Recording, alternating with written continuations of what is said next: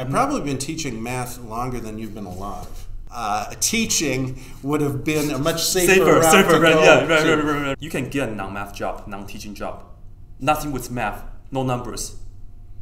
Then what would you like to do? Oh boy. One integral, 100 times. Which one would you do? Oh boy.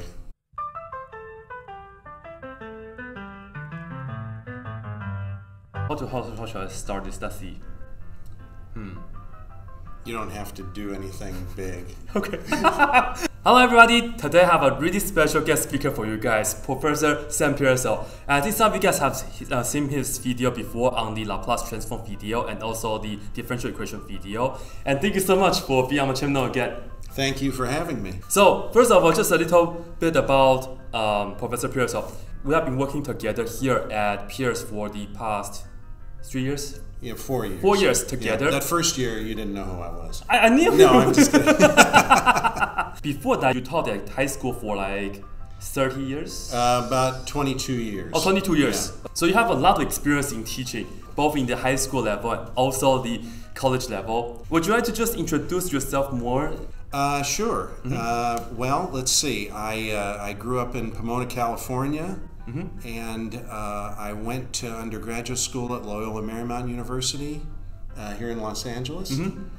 And uh, then I went to graduate school at uh, Cal State Fullerton. I Mm-hmm. got my uh, master's in education there, and then I also have another master's degree in mathematics. I got that from uh, Cal State San Bernardino. I see. I taught in middle school for two years. Oh, okay. I taught in high school for 22 years, and now I'm in community college. Yeah. So uh, I've been teaching math for a while. I've Mm-hmm. probably been teaching math longer than you've been alive, although I'm not I- sure.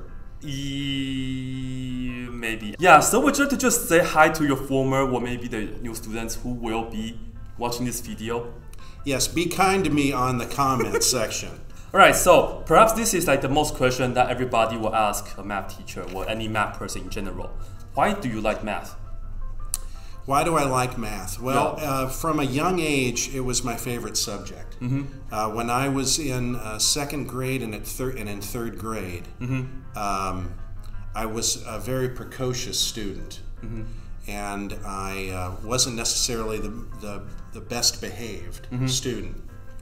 And my second grade teacher noticed that I had a um, a skill in doing long division.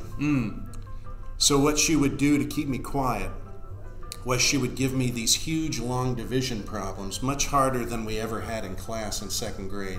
Like she would have some, you know, 11 digit uh, number dividing by some four digit number, and she would just give me about a hundred of these, and she'd put me in the corner, and I would be there doing it and figuring out everything. Uh, that was the time that there was no calculator, right? Oh no. Okay, so we're talking uh, just just so you know how old I am. So this was about 1971, 1972. So this Mm-hmm. is before calculators, yes.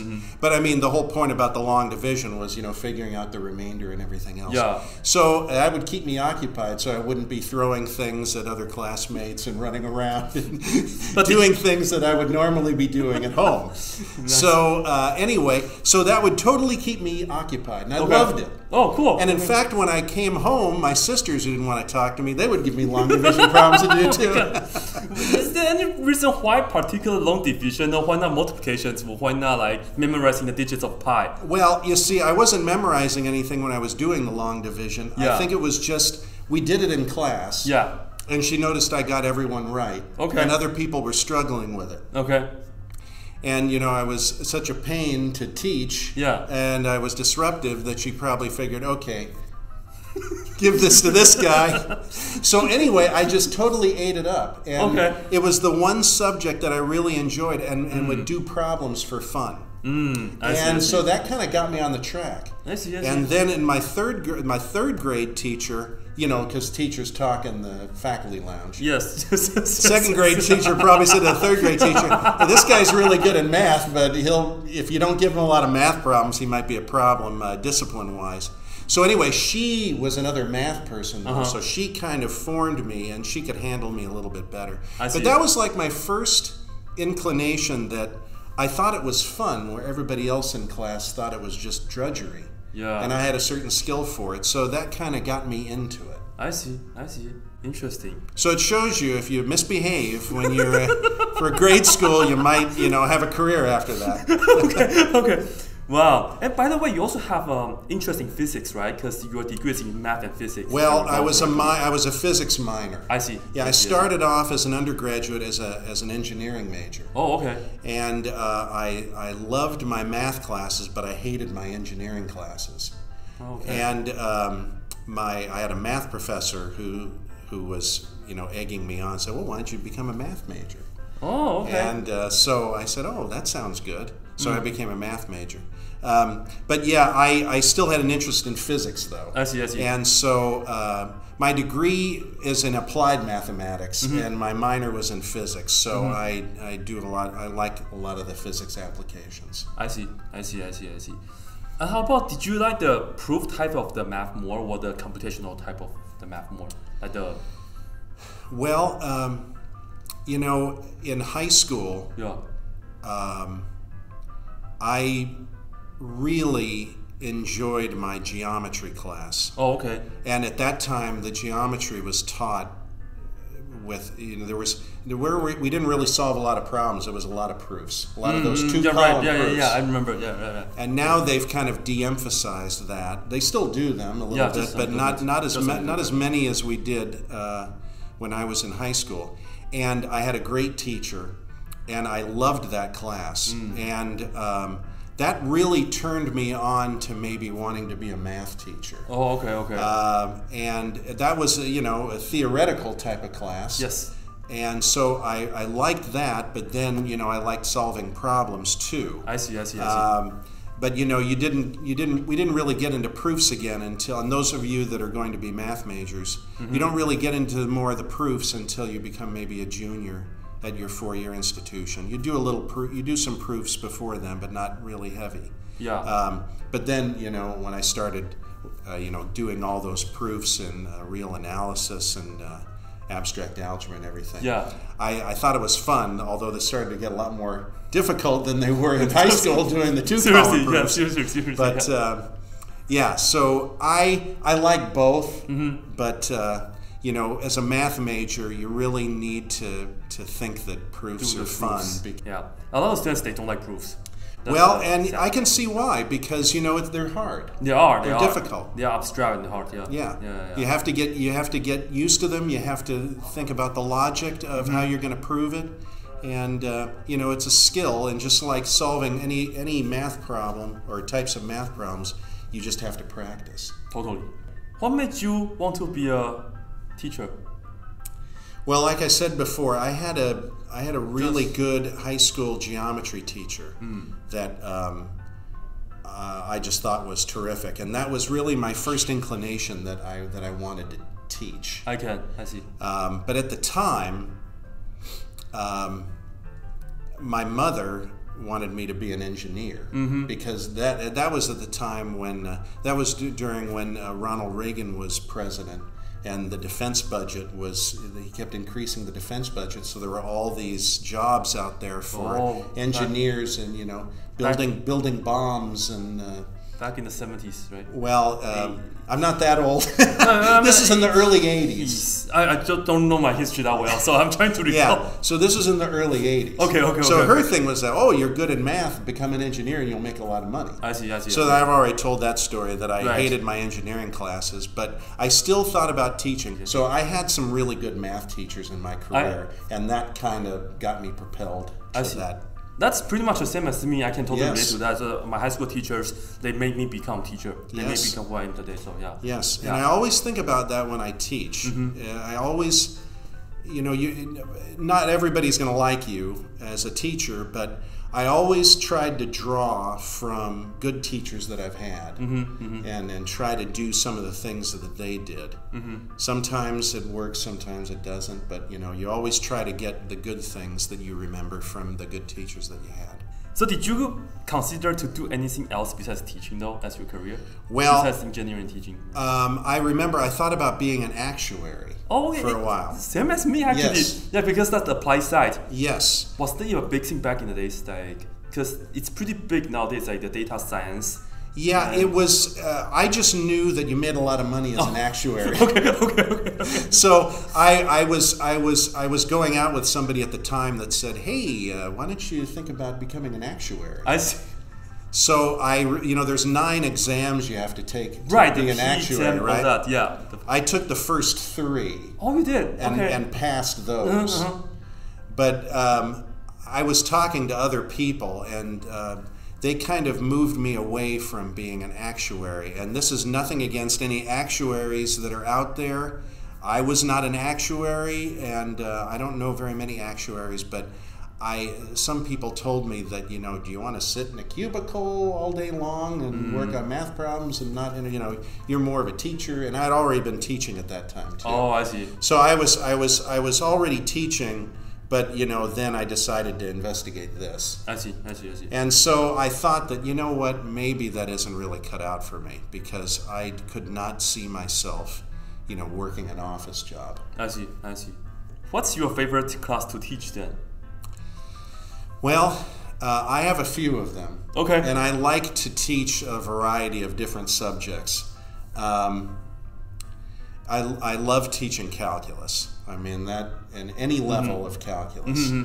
Um, I with between Calc one, Calc two, and Calc three, they all have uh, parts about them that I really like to teach. I see. But um, for some reason, and this isn't necessarily what a lot of calculus teachers tell you, for some reason I really like teaching Calc 2. Me too, actually. Yes. Yeah. And I'll tell you why. Okay. It has it has no unifying theme to it. And I think that's why I like teaching it. Because, you know, in Calc 1, you're you're talking about the um, the basics of differential and integral calculus. You're Yeah. laying the groundwork. Yeah. And then in Calc 3, it's basically a continuation of Calc 1, except now it's in 3 space. Yes. Okay? But Calc 2 is kind of a hodgepodge of all these different subjects that they're trying to tie together mm-hmm. that you need to know for further study in mathematics, but they had to try to figure out a place to put it and where it was appropriate, right? Yeah. I see. And that's the you talk to other calculus teachers, they tell you that's the reason why they don't really like to teach it. That's the reason why I like to teach it because it's like, okay, now we're going to talk about some techniques of integration and some more applications. I see. All right, now we're going to go over to sequences and series, right? Okay, now we're going to do some polar coordinates. Yeah, you got so many things in right? Yeah, now yeah, we're yeah, going to do a little bit of differential equations. Yeah, I kind of like the fact that you're kind of doing that. Um, plus, the subject matter in there that I really like. Um, you know, it's kind of old school Mm-hmm. because it's not as important as it used to be. But I, I really like in doing integration. oh my god. you know, I feel we're so much alike, to Yeah. be honest. Yeah. No, I'm uh, not just saying yes. this on the camera. It's like, seriously, I do feel No, it. Yeah. I- I agree. Yeah. Well, when we talk, you know, in the office, you know, Yeah, we have yeah. a lot of the same interests. Yeah, yeah, But yeah. you know, it's it's uh, you know nowadays integration. You know, people can use computer algebra systems to figure out certain integrals or whatever they need to do. Yeah. But you know, being able to do a difficult integral, I, I just love attacking that. You know, like we talked about before, it's like solving a puzzle, Mm-hmm. and um, it's a good way to review formulas. It's a good way to review trig. Yeah, and then for Cal 2, you do have a lot of like hard stuff Yes. that you can do. So that's one of the reasons why I like Cal 2 so Well, and, and the same with me. Like my Calc 2 class this semester, not only do they have a good personality, but they really are working hard and they know it's a they find it they find aspects of it difficult, but their willingness to learn more Yes. I Yeah. think is, is is something that really makes me like teaching that. Um, I like teaching differential equations. Um, I like teaching trig. I like teaching pre-calculus. But I mean, if if somebody said you can only teach one class, uh, and that's all you're gonna have, that's all you're gonna teach for the rest of your life, I'd probably say Calc 2, just because of the variety I see. I see, I see. I think that's an interesting question. I think I will choose the same too. I have not taught calc 3 yet. Yeah, so, well, I'm going to be, te- you know, I don't teach Calc 3 that often. Okay. I usually just teach Calc 1 and Calc 2 differential equations, but uh, I'm going to teach Calc 3 next semester. I haven't taught it in a couple years. I see. And, um, you know, to teach Calc, for me to teach Calc 3 well, I feel there has to be adequate technology in Yeah, the the- classroom. all the 3D and then all Yes, because I can't draw. I, I have a very, very, good, very difficult time the drawing the 3D pictures. It's just impossible to draw Right. sometimes. Right. Yeah. So uh, anyway, uh, check back to me about six months. I'll tell you how it goes. Okay. Okay. Yeah. Yeah. Maybe we'll do another interview for follow okay. up. Yeah. How's your Calc three class? Not going too well. What if you can get a non-math job, non-teaching job, nothing with math, no numbers? Then what would you like to do? Do oh boy. um, a comedian a comedian or an Just- actor? Okay. Somebody, something like that. Did, I mean, um, I I think uh, being a teacher is is some type of performance anyway. I agree that You we're on stage. Yes, much. you yeah. are, and they're the students are picking apart everything you're doing, or like you put your hand in your pocket. They know all of your idiosyncrasies, Yeah. you know, and uh, so. I, I don't know. I mean, I love I love comedy. Okay. I, I love uh, I love watching comedy. I love going and seeing comics, and I all I, I always wanted to be a comedian, but I was I just didn't want to take that step because it was something that wasn't like to be a comedian and to go in that lifestyle. Yeah. Like you really have to take a leap of faith because there's no safety net. I see. You know, like you, you if, Right, you if you're- if you want to be a comedian, like you're going to have to go to the clubs. You're going to have to come up with an act. You're going to have to come up with funny jokes. You're Yeah. going to have to do all that stuff. And it just seemed like uh, teaching would have been a much safer, Safer, route safer, to right, go. yeah, right, right, right, right, But right. I mean, I think, math teachers. Yeah, I Yeah, think yeah. that if I had to do anything else, if somebody told me that I couldn't do anything math wise, I think I would probably at least try that. I see. I see. Do you have any favorite comedian? Then mine is Gabriel Iglesias. Fluffy. Oh yes. Yeah, yeah, yeah, yeah. How about yours? funny. Yeah. Oh, I have a lot of them, but you know, since I'm older, they they go they go back a ways. Um, you know, the Marx Brothers. Okay. Um, you know, um, uh, Woody Allen when he was doing comedy. Mm-hmm. Modern day Chris Rock. I, I thought Don Rickles was funny. You know, he's he's old school Vegas kind of guy. Okay. You know, but people like that. But I, I like all different types of comedy, not necessarily those people. I see. Okay. Okay, so let's talk about math. What's your favorite math topic? Theorem or formula? Just one. Yeah, I, I don't know. I mean, I have a lot. Mm. I mean, I think any math teacher or anybody that loves math, it's kind of hard to narrow it down to one. Yeah. Because you know they're they're all kind of like your children. Oh man, you yes, can't yes, yes, you yes, can't yes. pick. Oh, this is my favorite child. you know. I know, I know. But I know. think That's- it's I think it's hard to go any way other than just the fundamental theorem of calculus. Oh, totally. I mean, because that not only is it beautiful and important, mm-hmm. but I mean, it's it's simplistically beautiful, mm. and you know, you work so hard to get to that particular point, and then when you get to that point and you're able to prove that that's true. Mm-hmm. I, I just think it's it's just a, a wonderful thing to see, and you know the students see me get excited when I teach Calc One. Mm. You know they think I'm crazy, but you know there's a couple of students in class.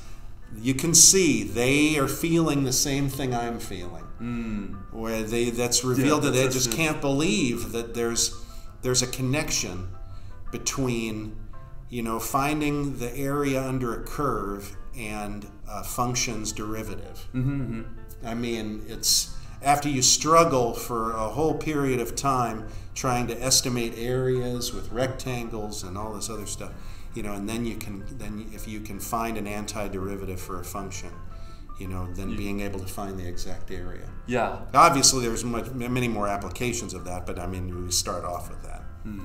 One of my students mentioned it to me that a lot of the big name theorems, like their formulas or the result, this seems too obvious. For example, like fundamental theorem of calculus part one, the derivative of the integral function is just the function itself. Right. But it seems so easy.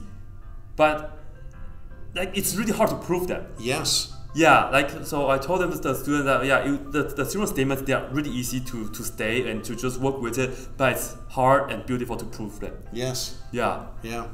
both of us we have a we have a long time to commute. My question is, do you think of any math or teaching while you drive? All the time. All the time. Yes. All the time. Here too. Um, because usually when I'm driving in, I think about you know what I'm going to be doing that day, mm-hmm. and I, you know, if music is on in the background, or if I'm listening to music, or I'm daydreaming a little bit, I'll think about. Um, you know, maybe there's a better way to do that particular topic. And I might change, like halfway through the commute, I might change the plan that I've had doing that to doing something else or doing some other. Um, doing some other problem that I think might be better a better way to explain it. So yeah, I'm always thinking about different ways of doing things, and and uh, you know I think that's what keeps things fresh as an instructor is that you know good instructors always try to think of different ways of doing things and the, after they teach a class they, they think about okay what went right in this semester mm-hmm. what could i improve on you mm-hmm. know and, and change change some things up oh so yeah i always think about different things Yes. I see. This particular question as well. What is your favorite integral? I don't know if you knew this was coming or not, but like one integral 100 times, which one would you do? Oh boy you know there like i said before there's a lot of them right Yeah, yeah, yeah. But if you can only do one for the rest of your life, well, well, you have to do one for I mean, I, times. I think like my favorite integral, and I guess it's not necessarily my favorite integral to do, okay. but I think, you know, I'm going to come at it from a teaching perspective since Okay. we've been talking a lot about teaching Yeah. uh, today. Um, when I teach Calc 1, Yeah, after we've proved the fundamental theorem yeah, and shown that it's true, yeah. I always like doing uh, the integral from 0 to pi of sine x dx. How so? Well, I'll tell you why. Because um, it's a problem that we did before, or I do before with them, trying to figure out like what's the area under the curve from 0 to pi of sine x. Mm-hmm, mm-hmm. Like that's like before we start doing definite integrals, I just kind of throw that problem up there. Mm-hmm. Can we estimate what this uh, area is? You know, have the students talk about it. And so, you know, they'll say, okay, well, if you make a rectangle with a base of pi and a height of 1, okay, so it's got to be less than 3.14. Yes, yeah. You know, then, you know, if you make a square of uh, side 1, they say, oh, well, you know, it's got to be bigger than one. Mm-hmm. You know, then you go out to pi over 2 and, you know, you draw a rectangle there. Oh, it's got to be. It's got to be bigger than pi over 2. So now they know that it's in between 1.57 and 3.14 Mm-hmm. approximately. And some students think that it has something to do with a circle. You know, like Oh, the top part of a right. circle. They think like that that arch of the sine is like the top of a circle. Uh huh, uh huh. So they think, oh, you know, it's going to be uh, pi over 2, you know, Hmm. or, or actually, no, Pi. pi, pi over 4. Okay. Yeah, Which because it's going to be half of that. Yeah. Okay. So they think it's going to be pi over 4. Well, you know, this isn't a circle. So, you know, we estimate, we do the rectangles, we do all that stuff. Then after the fundamental theorem, and you do it, and you say, hey, it's 2. yeah, it's just two, right? It's just 2. It turns it's out to be two. an integer. Yeah. And I, I said, isn't this unbelievable? Because you see, most stu- most students, when they have a trig problem, they think the answer always has something to do with pi. Right. They think yeah. it has to, uh, pi's got to be involved somehow Yeah. in the answer. Yeah. And to see that the answer to that kind of problem is an is an integer, a Yeah. positive integer, Yeah. I think is beautiful. I think that it, it shows the power of the fundamental theorem, and um, it's an integral that I especially like to do. Mm-hmm. And so it's a very simple one, but I think it shows the power of calculus. Mm-hmm. I see, I see. Interesting. Maybe I'll use that when I teach 1 as well. Yeah. Just to draw it to the students and ask them about like before what do you, you think. before you even talk about estimating rectangles or anything else, just draw this one arch or you know of the sine of So, x yeah. and say can you tell me what the area under this curve is? It, it, it, it's in, it's impressive what some students will come up with. Mm-hmm. It's also unimpressive what some students will come up with too. You'll find out what they're assuming or what they don't know. Yeah. But yeah. anyway, it's and then you see after a couple of weeks, and then you get to the fundamental theorem, you go back and revisit the problem. Yeah. Hey, remember this? Mm, You know. So interesting. anyway, Maybe I'll put that on my Calc 1 syllabus. Use that for fun, okay? What do you think what the answer to this area yeah. is? Now you're like always going to have some smarty pantses in there that have taken calculus before, had Oh, yeah. calculus in high school, and they'll just say, "Oh, it's two because Yeah. they already know the fundamental theorem." So they kind of screw it up. For I know. I know. So you say, okay, those of you that have had, I always, when I teach Calc 1, I always ask, who has had Calc 1 before? I and see. Mm. see how many people are in there. And I always tell them, okay, try to forget everything you've ever learned from Calc 1 before. Because Mm-hmm. uh, a lot of students that have had exposure to calculus before they have college calculus, they kind of think that they know everything. Mm-hmm. And uh, it ca- they kind of get lulled into a false sense of security. Oh, yeah. And they don't work as hard in the class. And, Yeah. you know, a lot of times the calculus one that you have in college doesn't necessarily align with the calc that you might have had in high school. Yeah. And we might do more things. And so, um, or we might ask you to prove something that you might not have had to do in high school. So, you know, that's that's an issue too. Yeah. One thing I would like to add, though, a lot of students that I had in the past, right? They knew the power rule, Yes. and they thought they knew all about calculus. yes. That that's the problem. good. Yeah. That is the problem. Bring the two to the front, minus one. Oh, I know everything about calculus. Right. Exactly. Okay, so perhaps let's see this. What's one thing that you really want your students to know about you? Well, I think the one thing I would want my students to know about me is that, you know, we all kind of, every once in a while, if we want to get depressed, we read our reviews on uh, ratemyprofessor.com. Now, you know, most of mine are good, but there are some in there that, you know, I don't know what I did to this student, that, you know, I'm the worst person on the face of the earth or whatever. But, uh, you know, you can't please everybody. But I just want everybody to know that, you know, at the beginning of my semesters, I might come across as strict and harsh, and you know, you got to do this and you got to do that, and you got to memorize this, and Yeah. you know, because I, in my classes, I I do ask my students to do a lot of memorization. You know, I don't give them formula sheets unless I'm teaching stats or something.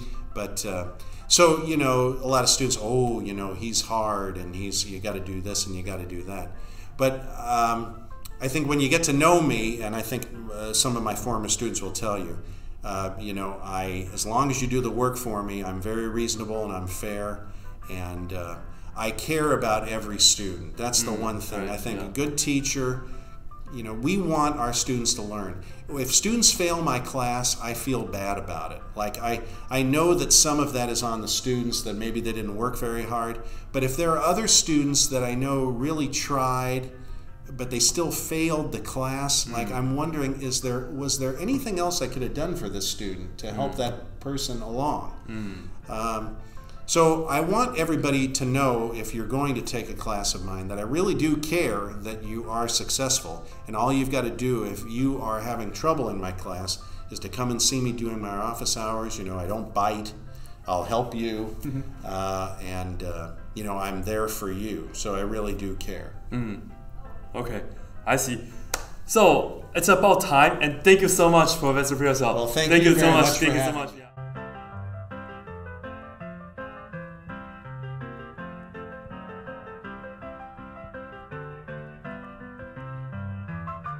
I'm 32 years old. 32. So Okay. maybe when I was born, I was like one or two. You know what? Uh, yeah, I I might have started teaching at that time. yeah, right. Yeah. Back in uh, the 1986. right? Yes, you know, 1986. That was the first year I taught. You serious? Yes. wow. I was 22 years old in 1986. Yes. Oh my god. Okay, okay, okay. Yeah. Yeah. Wow. I didn't know about that. Yes, Yeah. I know. Okay. Now it's making me feel even older Well, than no. I already am. no, no, no, no.